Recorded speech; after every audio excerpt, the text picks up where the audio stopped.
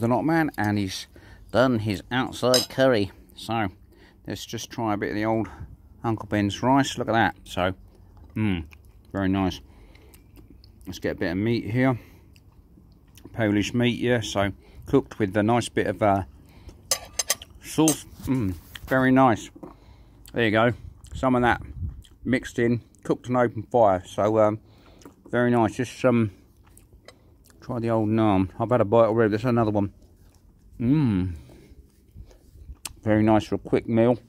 All done by the old uh, firebox. So I should enjoy this and mmm. Very nice. I shall keep posting videos about the cooking. So thanks for watching, viewer.